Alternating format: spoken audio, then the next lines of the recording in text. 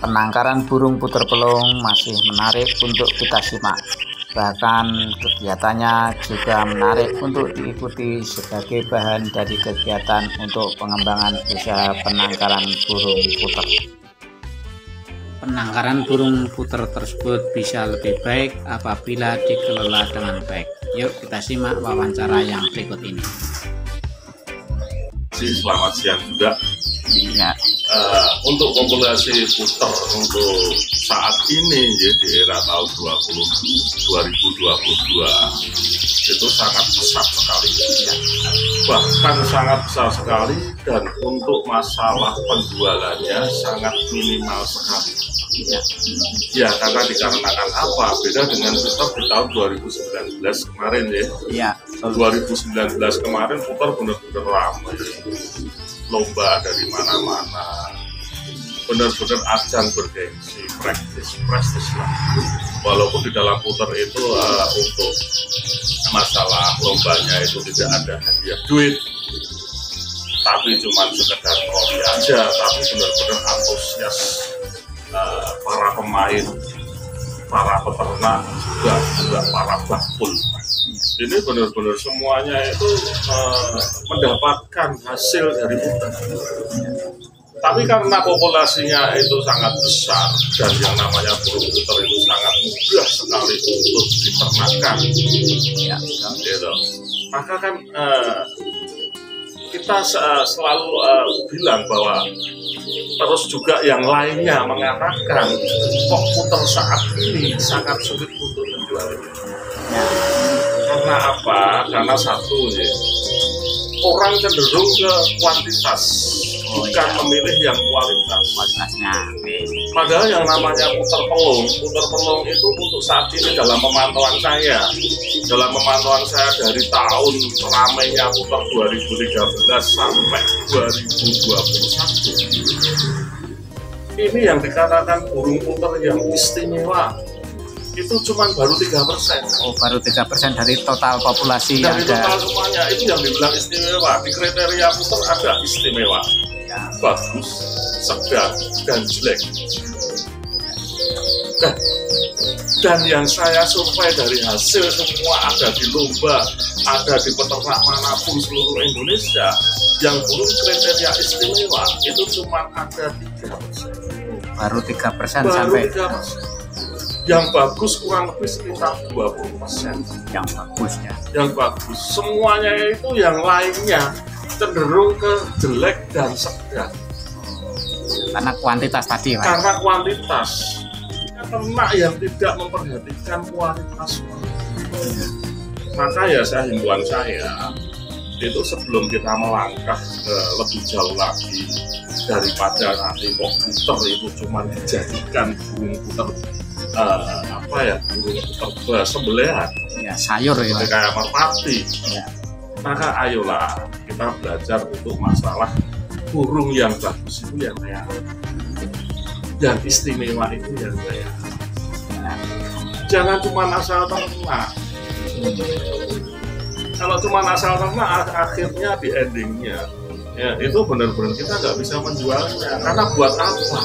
Ya semakin banyak ya. Semakin banyak peternaknya semakin banyak secara otomatis eh, populasinya puter juga semakin tambah banyak. Satu orang oke okay lah sama 25 pasang itu sudah menghasilkan satu bulan berapa itu yang saya lihat kemarin. Banyak orang yang menumpuk puter cuma jadi eh, anakannya jadi banyak. Mau dilepas nggak bisa dibuat apa-apa karena nggak bisa dibuat untuk lomba. Burung sekedar biasa. Yang di endingnya nanti burung puter itu bisa jadi burung uh, rica-rica. Hmm, kasihan itu ternaknya gitu. maka janganlah kita asal ternak belajar dulu untuk masalah suara yang dibutuhkan di dalam lomba itu yang kayak ya. Jadi himbauan saya juga masalah lomba ya. ya. Lomba di 2019 sampai 2021 bagus. Tapi kembali lagi orang monoton uh, akan jenuh dengan lomba yang cuma begitu-begitu aja.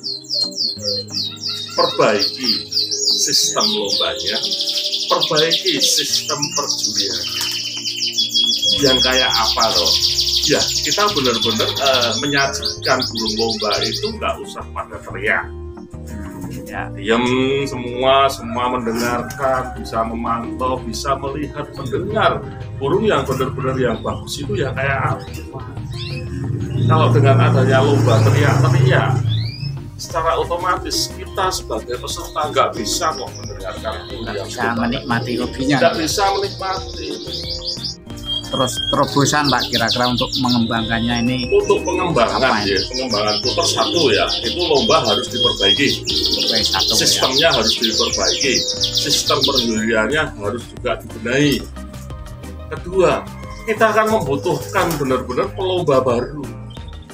Yang sudah kan cuma pelomba ya itu itu aja jadi nggak nambah ya nggak nambah justru malah menurun. Jadi itu membuat persaingan semakin ketat gitu ya pak? Betul. Dan juga yang kalau bisa kan kita harus ada pendatang baru yang ingin mencoba burung puter lombakan burung puter. Itu yang kayak apa? Kita bisa merekrut dari teman-teman ocehan dari teman anggungan lain seperti Tutut ataupun terkungkung yang untuk menggemari ataupun bisa menikmati lombanya putar telur. Salah satunya tanpa teriak, Pak? Tanpa teriak. Ya. Dan kuota dibatasi. Jadi tidak harus 60 gitu, Pak? Tidak, ya itu kan bisa mau ada peserta 60 bisa per 20 per 20 per 20 nanti diambil 20 untuk difinalkan jadi seperti biasanya sudah ada kelas BOB itu sudah masuk Oke lah kelas BOB bila mana penyelenggara kepengen tidak rugi dan lain sebagainya ada lomba yang teriak nggak apa-apa Kira dikhususkan ada lomba teriak dan benar-benar lomba yang uh, kelas eksklusif. Oh, ada tiga etape ya Pak? Iya, ya. mungkin uh, uh, apa yang eksklusif itu nanti benar-benar burung yang siapa yang berani dengan tiket tinggi dan benar-benar uh, tanpa teriak teriak dis! Itu harus kesepakatan bersama. Jadi ada dikasih ruang yang teriak biarin. Tapi yang kelas Betul. menengah atas juga ada tiga. Nah itulah yang kita harapkan uh, secara otomatis bila mana uh, apa ya teman-teman dari uh, hobi yang lain bisa menikmati oh non teriak itu ternyata nikmat dan bisa mendengarkan maka secara otomatis mereka mereka ingin juga uh, mendalami hobi tersebut. Itu langkah dari lapangan yang mengemuka seperti hanya Pak Nawan. Lalu bagaimana dengan ini eh, kemungkinan anggaran dasar bagi para apa ya organisasi tersebut itu ada langkah nggak kira-kira ke sana? Ya itu memang harus ada langkah, harus dibenahi, diperbaiki, nggak usah menunggu munas ataupun munaslup ya kita tindaki siapa penyelenggaranya ya kita kita mulailah dengan sistem lomba yang benar-benar eh, nggak uh, nggak usah terus harus melalui itu melanggar ADART dan lain sebagainya nggak usah kesampingkan itu dulu. Bila mana itu nanti bisa uh, dapat respon yang bagus kenapa enggak karena yang namanya ADART itu kan juga kita buatan kita sendiri. Kenapa kita harus menunggu dan menunggu lakukan perubahan dengan secepatnya. Bila mana ada, jangan sampai putar ini uh, semakin terpuruk terpelosok. Ya, misalnya dari beberapa event itu uh, kita pantau juga agak menurun itu uh, tidak tidak full itu kalau lomba-lomba. Kita kalau dulu itu kan 60 bantang itu bisa full betul. Ya beberapa kali ini agak menurun nih ya karena antusias untuk uh, pemain ya uh, kita nggak harus bisa merekrut pemain baru. Karena pemain lama sudah bosen dengan adanya lomba kok cuma kita itu. Benahi benahi semuanya. Soal harga burung-burung puter yang kualitas pak. Ini sepertinya juga tidak ada patokan harga meski hobi itu juga nggak ada nilai bawah rendah maupun atas tapi kualitas adalah yang diutamakan nggak ada ini Pak, patokan harga Pak ini yang terjatuh seperti apa Pak? Yang namanya burung ya, semuanya itu kan pasti adanya lomba, otomatis secara otomatis kan akan diambil burung yang benar-benar berkualitas. Ya. Dan masalah harga kualitas suara, kualitas suara itu nggak ada patokan harga. Itu tergantung kesepakatan penjual dan pembeli. Tapi bila mana saya yakin, burung yang berkualitas ataupun suara yang benar-benar kualitas dilihat didengar oleh siapa pun uh, tanpa ada rekayasa nilai jualnya akan tetap tinggi saya berharap sekali uh, maka dengan adanya gebrakan-gebrakan yang lomba benar-benar bisa menikmati suaranya maka burung yang dicari benar-benar kualitas karena selama ini ya di dalam lomba-lomba itu burung yang kualitas tidak bisa didengarkan secara langsung di lapangan. Nah maka itulah menurunnya harga tapi bila mana kita bisa menikmati, bisa benar-benar mendengarkan dengan bersama, jadi uh, di keputusan itu semua ada juri ya. Tapi kembali lagi, juri juga memutuskan itu bagus. Peserta juga memutuskan itu layak, maka kembali lagi kita uh, semua burung berkualitas akan tetap dengan harga yang sangat tinggi. Hmm. Salah satunya di dalamnya tidak teriak tadi itu ya? Ya, jadi non teriak itu ya, non teriak itu bisa kita bisa bisa betul-betul menikmati. Enggak cuma asal yang teriak itu pesertanya. Tadi mengatasi untuk penjualan burung Pak, nah, mungkin punya inspirasi Pak ke depan untuk teman-teman ini. Karena kan eh, peternak semakin banyak semakin booming lombanya juga masih dianggap seperti itu. Apa yang kira-kira bisa mendongkrak dalam waktu kurun mungkin tahun 2022 ini? Sebetulnya semuanya itu bisa. Sekarang itu dalam uh, bisa mendongkraknya harga jual bila mana satu ya jangan cuma asal ternak Oh itu. Jangan cuma asal ternak satu. Terus yang kedua, jangan cuma asal mengadakan lomba.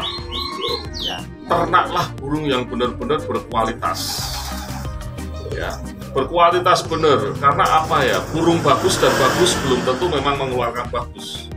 Tapi kita uh, akan mendapatkan hasil bila mana nanti diternak lagi akan bisa mendapatkan yang bagus. Gak bakalan kalau burung yang kuat non kualitas ya kuantitas itu nggak bakalan burung jelek sama jelek akan mengeluarkan burung bagus itu impossible hmm. dan juga untuk masalah kriteria uh, apa ya lombanya lombanya harus benar-benar sekarang itu bukan dibenahi atau benahi tapi kita sudah saatnya lomba itu harus benar-benar dikemas Oh, jadi segi kemasan gitu ya? Kemasan, oh. kemasan benar-benar harus bagus. Semua orang bisa menikmati burung yang berkualitas akan kedengaran jangan sampai yang uh, apa ya jelek menjadi bagus, yang bagus menjadi jelek dalam penilaian. Uh, durasi pak, ini kan setiap lomba burung putri itu waktunya panjang. Uh, yeah. Itu ada pengaruh kayak itu pak? Kan dalam menikmati itu kan uh, sekitar 25 menit atau lebih itu kalau ketika kelas masalah sore. durasi itu sudah cukup. Oh, sudah cukup kalau saya sebagai pemain, saya, saya sebagai pemain itu cukup panjang. Oh. Kalau bisa kan kita main smart saja. Burung itu yang kita lombakan mungkin pernah cuma 10 menit.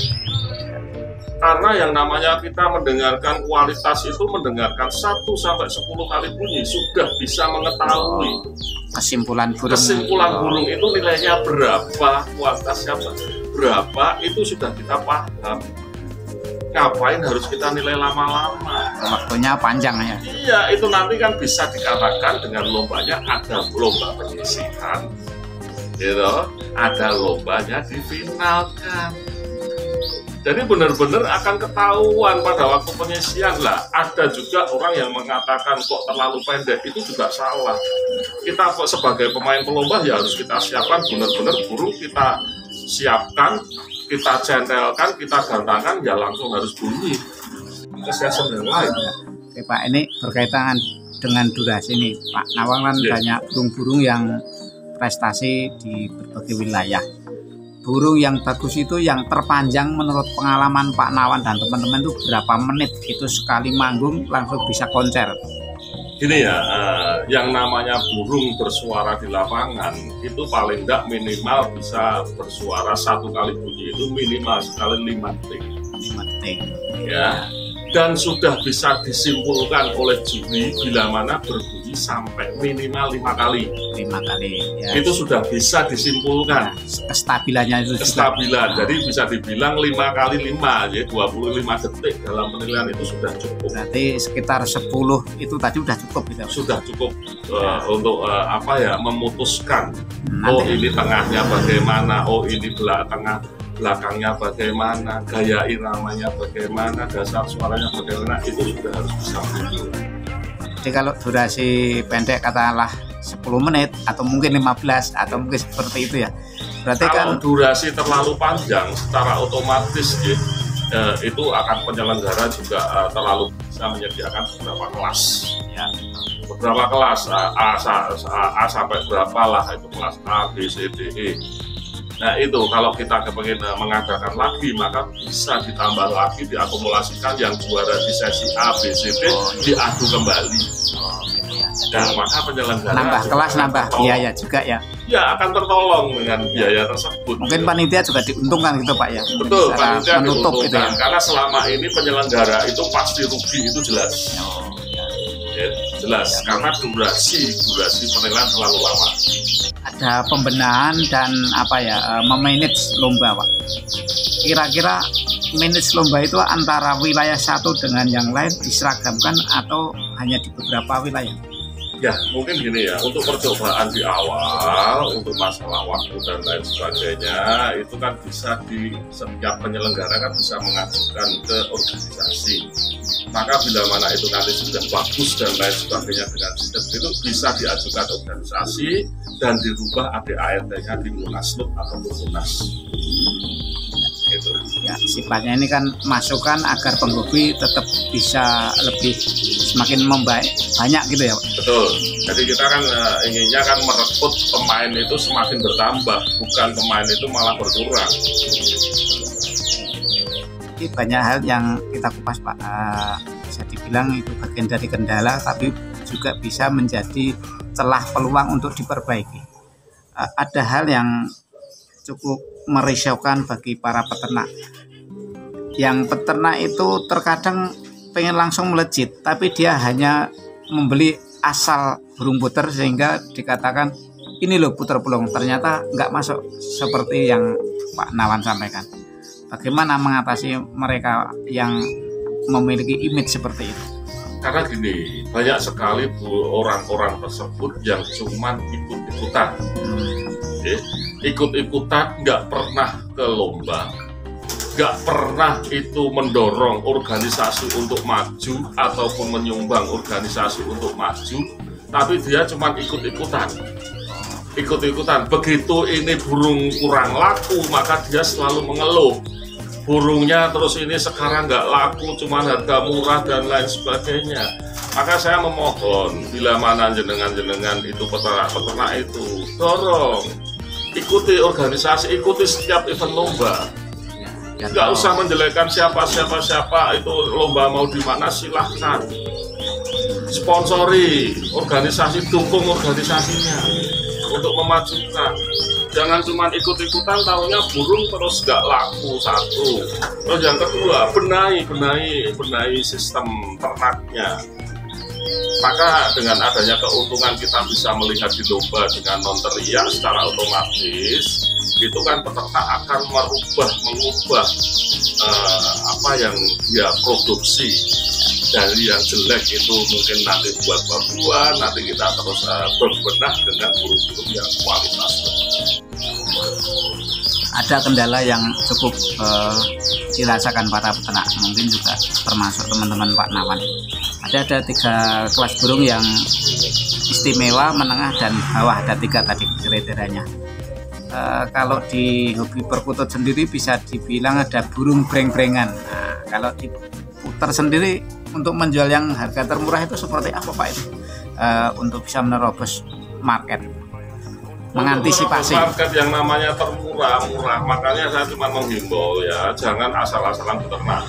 Karena kembali lagi yang namanya perkutut pun dengan harga yang sangat minim murah sekalipun juga banyak. Terkoko juga banyak.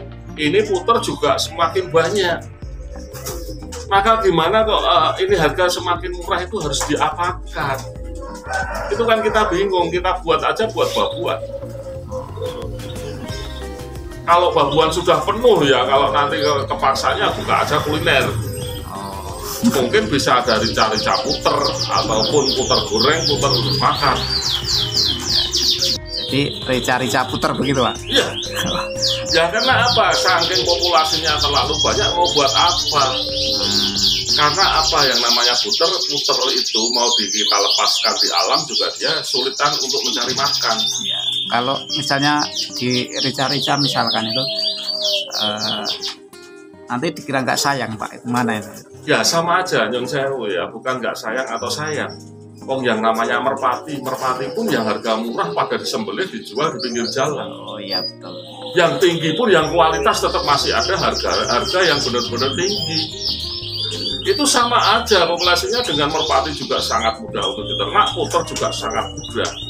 Yang murah akan menjadikan sebagai eh, kuliner. nah ini Kalau nggak mau dikulinerkan, ya udah buatlah yang kualitas. eh, jadi itu antisipasinya pak ya Iya. ya jadi mereka yang bergerak dia akan terpacu untuk mengejar kualitas kan ini Betul. Jadi kan orang ya yang peternak, peternak bila mana oh aku, kita jadi rica-rica. akhir daripada eh, perjumpaan kali ini terkait dengan putra yang akan datang Jadi kesimpulan saya, burung kalau kepengen maju maka satu benahi itu sistem eh, sistem lombanya, sistem penilaiannya.